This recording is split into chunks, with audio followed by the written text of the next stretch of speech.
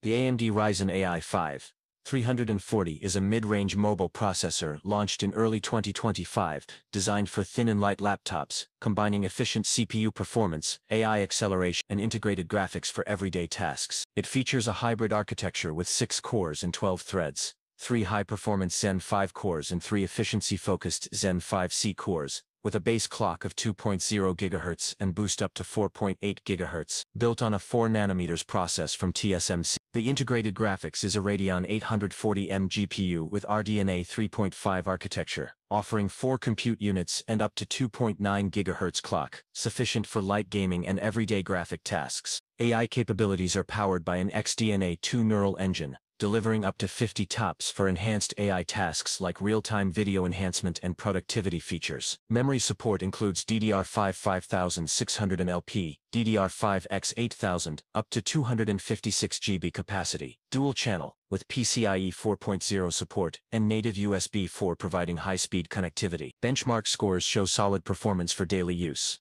Cinebench R23 single-core 1862, multi-core 11734.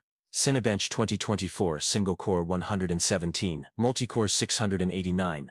Geekbench 6 single-core 2739, multi-core 10982. Compared to the Ryzen AI 7 350, it has fewer cores and smaller cache, as well as fewer GPU compute units, but matches in AI performance, making it a competent choice for most tasks. Ideal use cases include everyday computing like web browsing and media, productivity with AI workloads and multitasking, and light gaming at modest settings.